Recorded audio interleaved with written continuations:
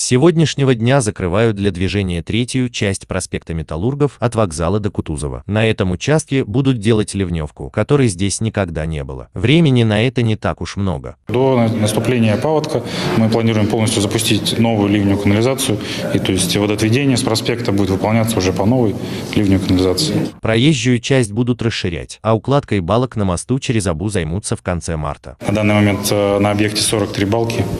Э, Это количество балок как раз сейчас э, необходимое для перекрытия с демонтированного участка.